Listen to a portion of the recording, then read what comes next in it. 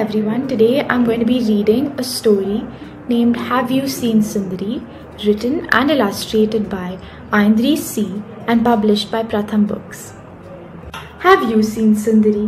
Sundari is green and loves to hide. Is Sundari hiding among the water lilies or between the sky flowers? Is Sundari hiding with the fishing cat or with the mud crabs? Is Sundari hiding in the mangrove or in the salty water? Is Sundari hiding inside the weaver bird's nest? There you are, Sundari. Oh, I've missed you so much. Where have you been?